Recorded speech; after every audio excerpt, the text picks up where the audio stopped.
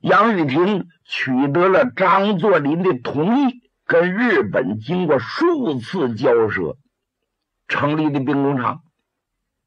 小日本呢，趋于列强的干涉，不敢明目张胆的支持张氏，哎，所以帮着你筹建兵工厂。钱呢没有，可以贷款，分期分批的还给我。但是我有附加条件，你这兵工厂里的顾问都得用日本人的。等兵工厂建成之后，杨雨婷请示张作霖，张作霖把小眼睛眨巴眨巴，怎么来了？来了，来了，来了，又来了。我说过嘛，小日本干点什么都得讲条件。用他的顾问干什么？不用，听我的，我宁愿多花钱，从德国、从法国、从英国雇佣专家，也不用日本顾问。张作霖多了个心眼儿，恐怕日本人插手兵工厂的事儿，将来留下麻烦就这样，杨玉婷二次碰了钉子。果然，按张作霖所说，从西欧各国请来大批的博士、教授，请来不少的专家，在兵工厂里进行指导。另外，张作霖也豁出血本去了，又从中国的汉阳、上海各地请来不少大工匠和技师。你来不？你来要多少钱，我都给。重赏之下必有勇夫啊！因此，你介绍我，我再介绍他，越招人越多。东三省兵工厂是人才济济，在当时的中国，那是第一流的大兵工厂，是综合性的兵工厂。每一年。能生产轻重机枪一千多挺，炮弹五万多发啊！到了后来，就这兵工厂能制造坦克和装甲车。当然了，那得花多少钱呢？嗯，杨雨婷经过上下活动，成了兵工厂的督办。掌握了实权，而且让他的好朋友亲信韩林春做了兵工厂的厂长，这矛盾就出来了。张学良既然掌管着海军、空军、陆军，那就得需要枪支弹药。如果杨雨婷不点头，他不签字，你瞪眼玩不转。他没少给张学良下绊子，招张学良的毛病啊，使少帅十分被动。这也就打下了日后少帅枪毙杨长的基础。为什么少帅传奇上重点指明这一点？张学良枪毙杨雨婷和常荫怀。这个也是其中主要的原因之一。当然，这后话咱先不说，就说眼前的那兵工厂，从南方招来不少专家、大工匠，从外国聘来不少高级专家，不得花钱吗？嗯，外国人不在乎这个，你不花银子，不多给我钱，我不来。那么中国人也不例外，虽然没有洋人挣的多，但给少了我也可以不来。他们做梦没想到张作霖出手大方，不心疼花钱。你只要来了，我给你献大洋。而且张作霖亲自批准，在奉天的东关开辟了一个。技术人员居住区，叫东关花园，也叫兵工厂花园。哎呀，修的一栋一栋的小别墅，二层小洋楼，格外精致，让这帮人到这安家落户，待遇优厚。张作霖看出来了，大老粗到什么时候也不行，还得知识分子，还得有学问的人。要想富国强兵，要想报仇雪恨，没这帮耍笔杆的玩不转。所以老张对知识分子格外重视，要求什么条件就答应什么条件。不多久，他的势力是一天强似一天。与此同时，张作霖呢？还非常重视外交。突然在这一天，他得着禀报：广东护法军政府大元帅孙中山派出来的特使王精卫来到奉天。张作霖在帅府礼堂隆重接待，那真可以说是盛况空前呐。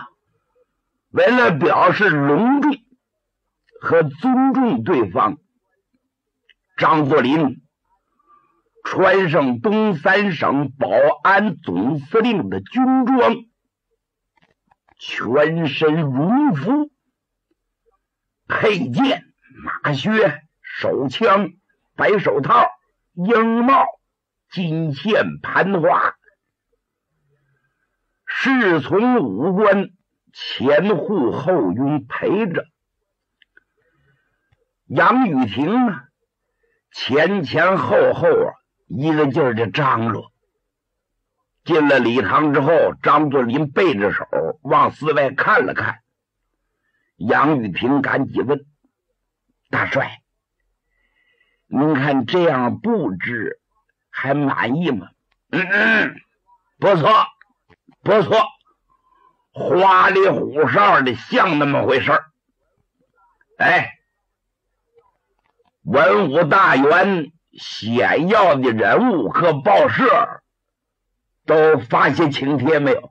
大帅放心，一切就绪，人全都到了。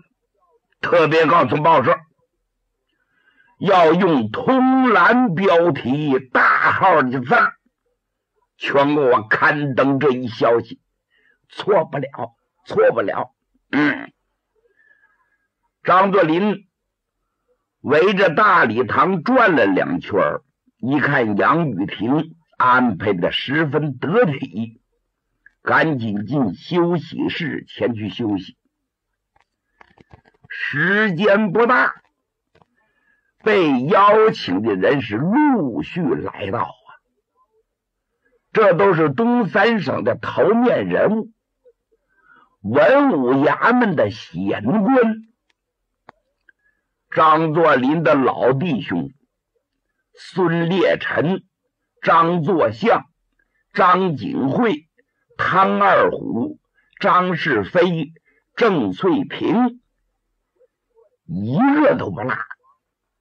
文官王永江。袁金凯也都来到了，紧跟着各界代表、身商巨贾也陆续进入大厅，这屋里头就开始热闹起来了。等人们也到齐了，就听外边汽车声滴滴一响，杨雨婷到里边报告张作霖。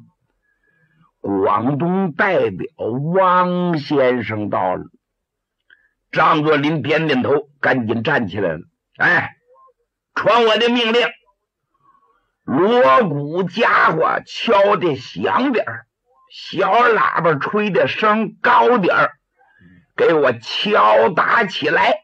是，奏乐。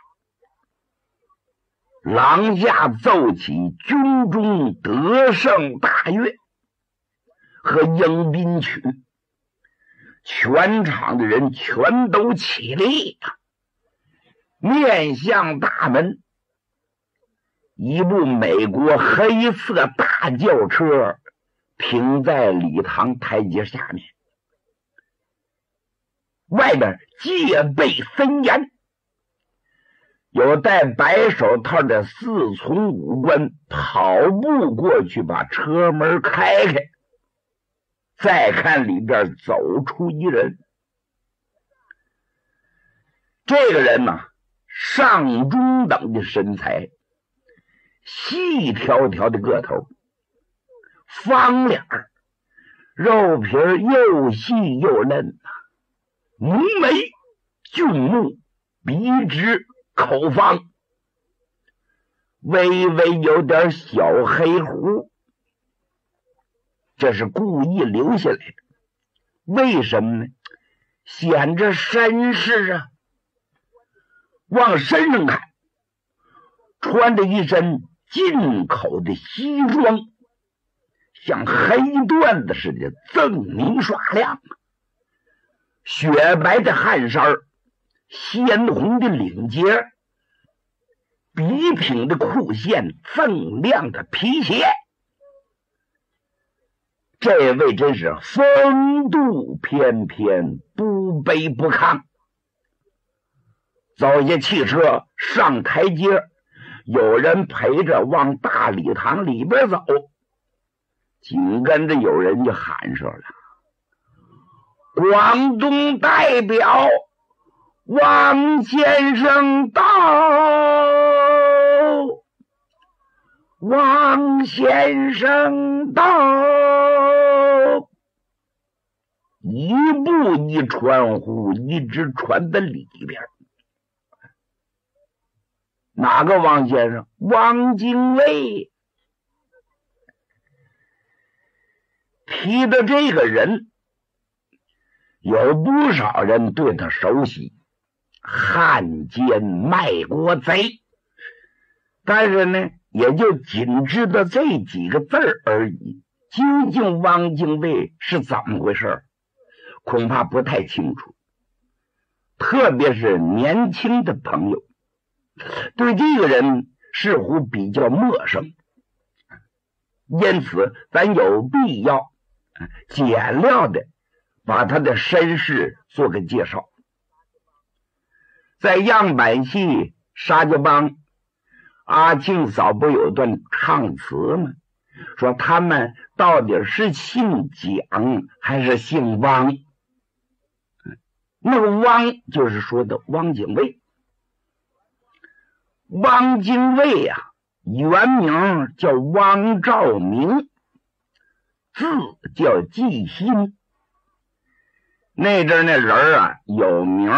有字儿还有号，啊，他的字叫季新，他是一八八三年生的，原籍啊是浙江山阴人，但是他呢生在广东番禺。要说起来挺不简单，家里比较有钱，在一九零四年。就到日本去留学，曾经在日本入东京法政大学攻读法律和政治理论。一九零五年回国，参加了孙中山先生创办的同盟会，哎，在同盟会里表现的相当出色，所以时间不长就被任命为。同盟会评议部的议长，这就不简单了。十一月份曾经任《民报》主编，那是大主笔。一九零七年呢，跟随孙中山先生又到南洋，创办了同盟会分会，实质上他就是分会的负责人。到了一九一零年初，他又跟于培伦、陈璧君潜赴北京，干什么去？刺杀摄政王载沣。您还记得吗？咱们说民国英烈的时候，曾经谈过这个汪精卫。那阵年轻有为呀，刺杀摄政王，冒着生命的危险，结果事机不密，走漏了消息，汪精卫被捕，好悬那把脑袋丢了。在监狱被押的时候。汪精卫还写下绝命诗两首，哎，该着他不死，没等砍他的脑袋呢，朝代变了，满清垮台，民国成立，就这样，汪精卫捡了条命，这才出狱。到了一九一一年十二月。到赴上海，任中国十三省革命政府总代表，参加南北议和。到了一九二一年，又出任广东教育会的会长。到一九二四年一月，当选国民党一大主席团的成员，同时被选为中央执行委员。黄埔军校政治教官，到了一九二五年的七月，又被选为国民政府的主席、中央军事委员会主席、黄埔军校政治部主任。到了一九二六年一月，在国民党一大又被选为中央执行委员会主席。可在此期间呢，他跟蒋介石两个人意见不合，看法也不一致，越来矛盾越尖锐，越来成见越深。汪精卫一赌气，以养病为名上了法国，走了。可是以后呢，他又回国了。到了一九三八年十二月，居然在重庆的偷着面溜了。您记住，一九三八年是汪精卫的一个转折点，他开始投敌叛国，做了日本的走狗。所以说，骂他是汉奸卖国贼，一点都不过分呐。在一九四零年三月呢，他领头在南京成立了伪国民政府。老百姓不承认的卖国政府啊，积极给日本人效劳。在这个政府当中，他任代主席，还兼任行政院的院长。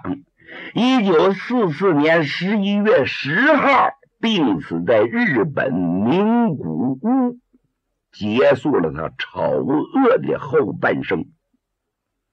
就这汪兆铭，当然了，咱们上述所说只是走马观花、轻轻点点，介绍个大概。实质上，汪兆铭的一生那也是错综复杂，有很多细节，咱没必要在这里详细说了。总之呢。你对这个人有个概括的了解也就算了。那么现在的汪精卫正追随孙中山先生，在广东护法军政府效劳，是孙先生的左膀右臂。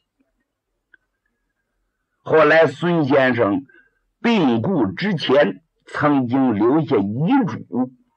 这汪精卫在旁边给执笔，亲自写下了“革命尚未成功，同志仍需努力”这几个字这出自他的手笔。现在的汪精卫跟以后的汪精卫还不一样。孙中山先生为什么派他来见张作霖呢？这有利用张作霖的意思。原来孙中山先生跟黄兴那革命太不容易了，几经周折呀，把一腔的心血全花到革命上了，但是每次都以失败而告终。孙先生痛感手下没有枪杆子，没有实力，这就是失败的原因。另外呢，他也吸收了教训，国民党内部腐败，人心不齐，现在又成立了广东护法军政府，出任大元帅之职。你光有这么空名头，没有枪杆子，没实力，怎么能行？面对北京政府的强敌吴佩孚和曹锟，吹气儿不好使啊！所以呢，孙中山先生打算利用张作霖。他知道张作霖实力雄厚，东北的一霸呀。如果双方合作，两路出击，夹攻吴佩孚，那就有取胜的把握。故此派汪精卫来的。那么张作霖呢，对孙中山也挺敬仰，他没事还老纳闷呢。你说这孙大炮？要人没杀人，要枪没杀枪，就晃了这么多年，威信这么高，老百姓提起孙中山先生来，无不挑大指称赞。